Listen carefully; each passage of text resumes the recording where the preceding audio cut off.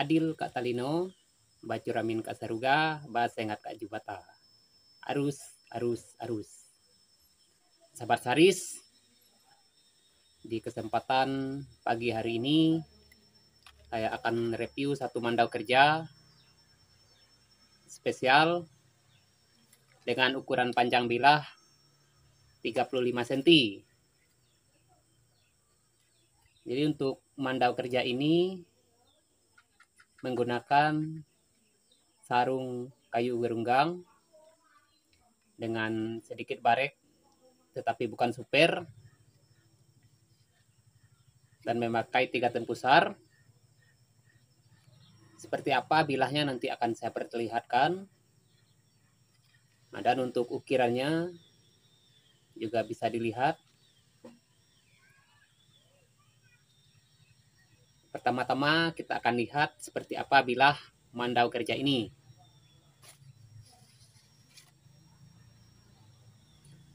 Jadi untuk mandau kerja ini bilahnya cukup gagah. Dan di video saya sebelumnya sudah saya uji menggunakan kayu ulin. Diasah lumayan tajam. Jadi tidak ada yang rusak untuk matanya dan benar-benar bisa diandalkan untuk kerja. Juga untuk gagangnya, ukirannya dengan tipe lemet bauk.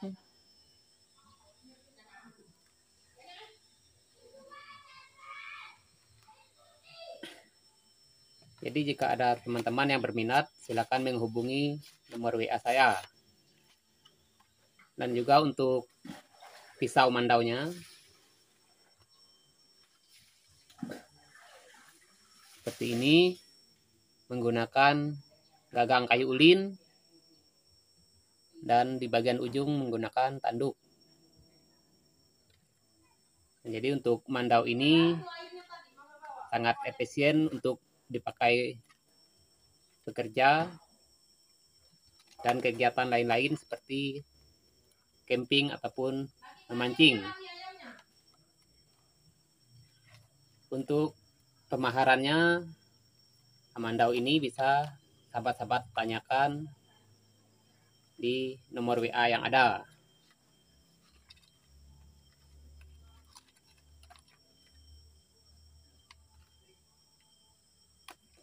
Jadi untuk kali ini ada dua mandau yang ready. Yang satu hulu tunggur dengan sarung kayu ulin. Dan juga satu mandau kerja ini dan jika ada teman-teman yang ingin melihat ataupun menanyakan pemaharan tangkin, juga masih ada satu yang ready, yaitu tangkin dengan pegangan tangan kiri ataupun kidal. Jadi saat ini ada tiga yang benar-benar siap kirim ataupun ready.